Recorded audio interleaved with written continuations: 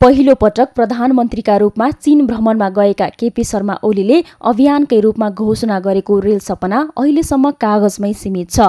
त्यति बेला नेपाल र चीनबीच रेलमार्ग सहित यातायात र पारवहन लगायतका महत्वपूर्ण बुदामा सम्झौता भएको थियो। तर अहिलेसम्म सामान्य प्रारम्भिक अध्ययन गर्ने बाहेकको काम भएको छैन।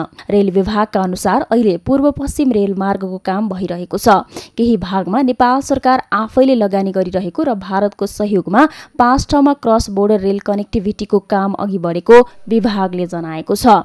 जस अनुसार जनकपुर र विराटनगरमा रेलमार्ग निर्माणको काम भइरहेको छ र तीन महिनाभित्र यो खण्डमा रेल सञ्चालनमा आउनेछ। इन्डो नेपाल क्रस बोर्डर रेलवेको चाहिँ पाँचवटा नाकाकोमा चाहिँ रेलमार्ग विस्तार गर्नको लागि नेपाल तथा भारत सरकार बिच सम्झौता भएको हो। त्यो भनेको पूर्वदेखि भन्दाखेरि चाहिँ तपाईँको भारतको न्यू जलपाइगुडीबाट हाम्रो काकटभिट्टासम्म त्यसै गरी जोगबनीबाट विराटनगर यो जयनगरबाट बर्दिवास र चौथोमा चाहिँ हाम्रो यो नौतनुमा भैरवा र पाँचौँमा चाहिँ उता इन्डियाको नेपालगञ्ज रोडदेखि हाम्रो नेपालगञ्जसम्म। अब यसमध्ये यी पाँचवटा मध्ये चाहिँ अहिले दुई स्थानमा चाहिँ रेलमार्ग निर्माणको काम जारी छ अहिले। अब एग्रिमेन्ट भएपछि उहाँहरूको चाहिँ नि कन्डिसन अनुसार चाहिँ नि तिन महिना वा त्योभन्दा अगाडि चाहिँ हामीलाई रेलगाडी उपलब्ध हुन्छ।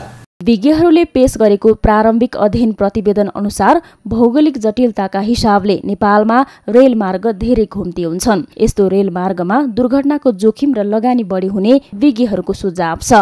आफ्नै सामर्थ्यमा यति ठूलो योजनालाई नेपालले कार्यान्वयन गर्ने गरी लागत व्यवस्थापन र दक्ष जनशक्तिको संयोजन नेपालका लागि मूल समस्या हो। गएका केही वर्षदेखि हाम्रो सरकारी संयन्त्रको ध्यान त्यति पुग्न गएको छैन र खालि प्रधानमन्त्री मन्त्री स्तरका खालि भाषणबाजी मात्रै हुने हो कि भन्ने एउटा देखिएको छ। त्यसैले त्यो तयारी नभइकन यो हाम्रो देशको यातायात विकासको लागि उपयुक्त प्रविधि हुँदाहुँदै पनि यस्ता आधारभूत तयारीहरू खास गरी सरकारी तवरबाट निजी क्षेत्रै पनि प्राज्ञिक तहमा यो भएनन् भने फेरि यो खालि चाहिँ कुरामा मात्रै सीमित हुनेछ। बढ्दो सहरीकरण इन्धनजन्य प्रदूषण नियन्त्रण तथा सहर व्यवस्थापनका लागि अत्यन्तै महत्त्वपूर्ण बने ठानिएको रेल सेवा काठमाडौँ उपत्यकाभित्र सञ्चालनमा ल्याउने विषयमा पनि चिनिया प्राविधिकहरूले अध्ययन गरिरहेको रेल विभागको दावी छ। तर अहिलेसम्म काठमाडौँ उपत्यकामा मेट्रो रेल मनोरेल अथवा कस्तो प्रविधिको रेल सञ्चालन गर्ने भन्नेमा रेल विभाग महानगरपालिका उपत्यका विकास प्राधिकरणका बीचमै मत एकता छैन। सगरमाथा टेलिभिजनका लागि क्यामेरा पर्सन सङ्गम कोइरालाका साथ शान्ता दनुवार काठमाडौँ।